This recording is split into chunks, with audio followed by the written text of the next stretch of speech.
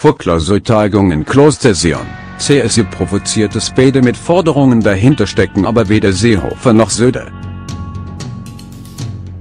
Deutsche Presseagentur Der bayerische CSU-Vorsitzende und bayerische Ministerpräsident Horst Seehofer, M., Barbara Stamm, CSU, L., und Vorsitzende der CSU-Landesgruppe im Bundestag, Alexander Dobrindt beim Parteitag in Nürnberg. Angela Merkel könnte sich in den nächsten Tagen noch stark nach Gerda Hasselfeld zurücksinnen. In der langjährigen Vorsitzenden der CSU-Landesgruppe hatte die Bundeskanzlerin stets eine auf Ausgleich bedachte Mitstreiterin. Das ist bei deren Nachfolger Alexander Dobrindt anders.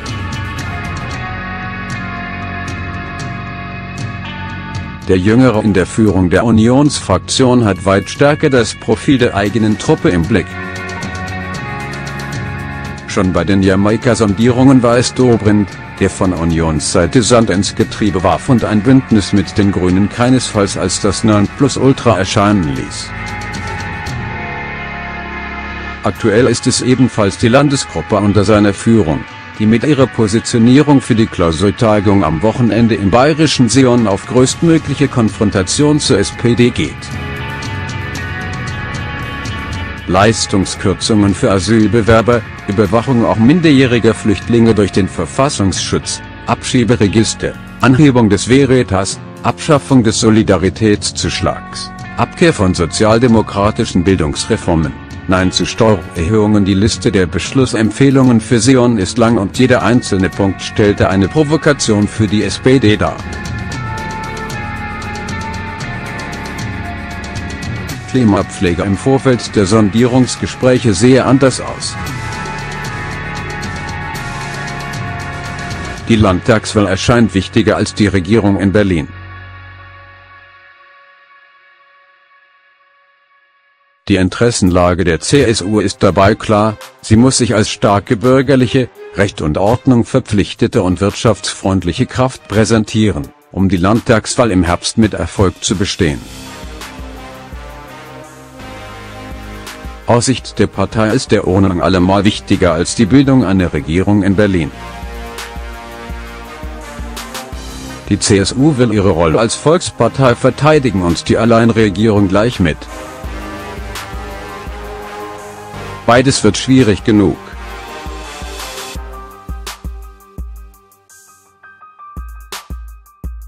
Große Zugeständnisse in Richtung SPD kämen dabei nicht gut an. Da ist es wichtig, die Latte möglichst hoch zu legen, um selbst kleine Kompromisse als Erfolg der eigenen Hartnäckigkeit verkaufen zu können. Ein angespanntes Verhandlungsklima kann obendrein nicht schaden.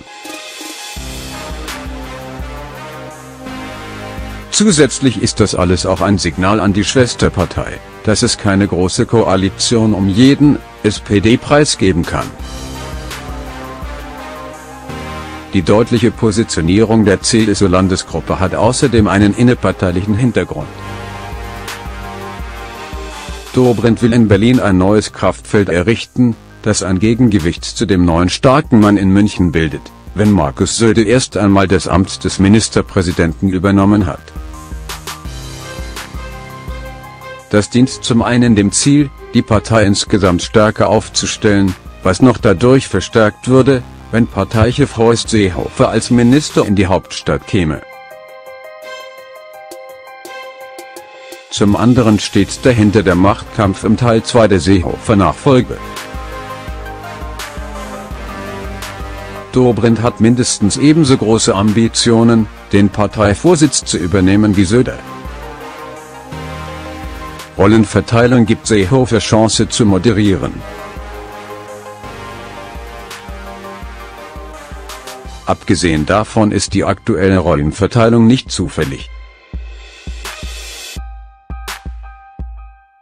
Seehofer, der lange vor allem in der Flüchtlingspolitik als der unionsinterne Querulant galt, erschien schon bei den Gesprächen mit FDP und Grünen als die moderate CSU-Kraft. Und auch aktuell äußert er sich eher beschwichtigend. Ich empfehle uns allen Disziplin und Zurückhaltung, mahnte er, um zu ergänzen, es sei völlig in Ordnung, wenn die Landesgruppe sich in einer Klausurtagung noch einmal inhaltlich positioniere. Die CSU halte aber an dem Ziel fest, eine neue stabile Regierung zu bilden. Kompromisse könnten nur am Verhandlungstisch geschmiedet werden. Schließlich darf eine Neuauflage der Großen Koalition am Ende nicht an der Union scheitern. Sollte es so kommen, muss aus Sicht der CSU die SPD das Handtuch werfen. Nur so lässt sich im Falle von Neuwahlen argumentieren, CDU und CSU seien die einzigen Parteien, die bereit seien, in Deutschland Verantwortung zu übernehmen.